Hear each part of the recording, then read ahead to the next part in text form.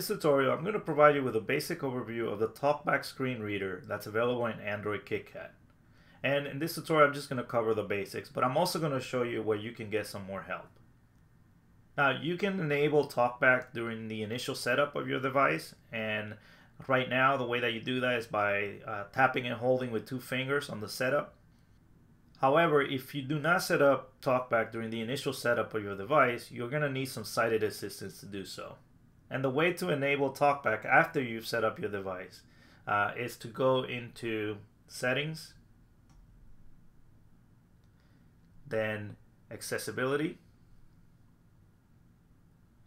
TalkBack, and then tap the on off switch at the top of the screen. And then you can choose OK to enable TalkBack.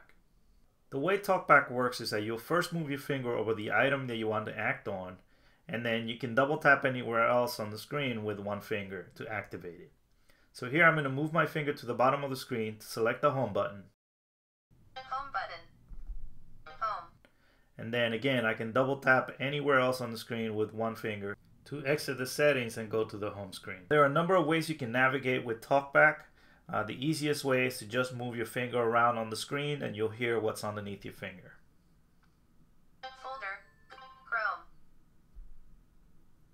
You can also flick to the right to get to the next item. Email, Hootsuite. Flick to the left to go back. Email, Chrome. And again, when you get to the item you want to select, you'll double tap anywhere on the screen with one finger. Chrome, Google. To assist with navigation, there are a few additional shortcut gestures that are available in Android KitKat. These gestures can be configured in the settings if you don't like the defaults. Here's an example of one of these gestures. To go to the home screen, I'm going to swipe up and to the left in one continuous motion. Home. Likewise, there are a couple of menus that you can access through these shortcut gestures. The first of these is the Global Context menu with global options for TalkBack. And the way to access that global context menu is to swipe down and then to the right. Touch the screen and explore in a circle to find an item, then lift to select. Using this global context menu, I can read from the top. Read from top. Home screen 3, folder, Google, Chrome, email, Hootsuite. I can pause the feedback by just tapping on the screen with two fingers once. Likewise, I can access a contextual menu for the currently selected item by swiping up and to the right in one motion.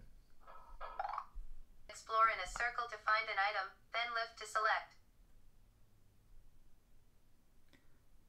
Here I can change the granularity, so I can go by character, Character granularity, by word, word granularity, and so on. cancel.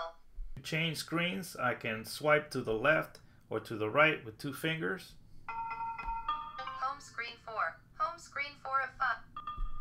Home screen 3, home screen 3 of 5. And likewise, if I'm on a list and I want to scroll up or down, I just have to swipe with two fingers. Match media volume, showing items 10 to 16 of 20. Single tap selection, experimental. So these are the basics of using TalkBack in Android KitKat. If you want to learn more, just go into the TalkBack settings and launch the Explore by Touch tutorial. Launch. Accessibility tutorial. This is an interactive tutorial where you'll be able to learn all of the gestures that you need to use TalkBack effectively. When you're finished, you can just select Exit, exit button. Talkback settings. and that will take you back to your TalkBack settings where you can configure a number of options such as the gestures, Manage gestures. Manage gestures. Showing items 1 to 7 of 11. Talkback settings. the speech volume, and a number of other options.